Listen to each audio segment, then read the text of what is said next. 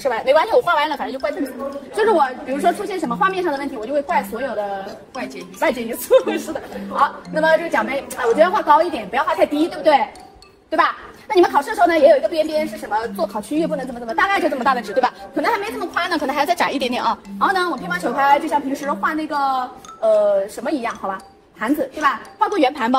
那我平时圆盘是不是这样摆的？我把圆盘扭动一下子，对吧？啊，那我也可以画一个正的，我先画一个。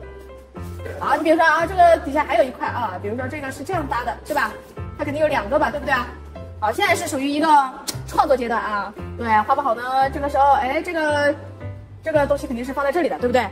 是吧？啊，想象一下，这个是不是绝绝子？最最重要的是它这层上面的这层皮，对不对？嗯，奖杯大概在这个位置，然后这个下面有底座。好，这个位置呢，我把它挡住了。挡住的东西是这样的，你要先把它画出来。前面的东西可以去挡住它，但是你要先把它画出来，明白吧？知道为什么吗？对呀，因为你你要是这个，你在这里突然安一个这种小尾巴，它不符合逻辑啊，对不对？那么这个时候，哎，我刚刚说了要在这里摸一个果子，对不对？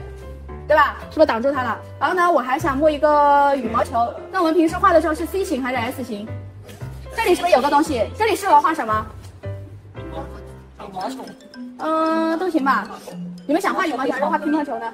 羽毛球，画羽毛球，羽毛球啊！好好好好，哎呀，都依你们，反正画不好怪你们。我不把头发画这边，我要把羽毛球的这个放这边。绝，不倒翁是不是长这样的？好，羽毛球也出来了。好，这里有个乒乓球啊，这个乒乓球呢，透视这里有，这个是底下的，对不对？这个是这一片的，对吧？是不是的？是。好，那么苹果，苹果旁边为什么我非要画一个乒乓球？因为画面当中的圆呢，你要有大有小。哦，这个是真的是很圆的啊。好，那么比如说它这个上面还有这种细线，对不对？因为它有这个飘带嘛，是不是得奖了还不得嘚瑟？还得有什么呢？钢笔，再搞一支钢笔，奖励了一支铅铅笔，行，那就铅笔。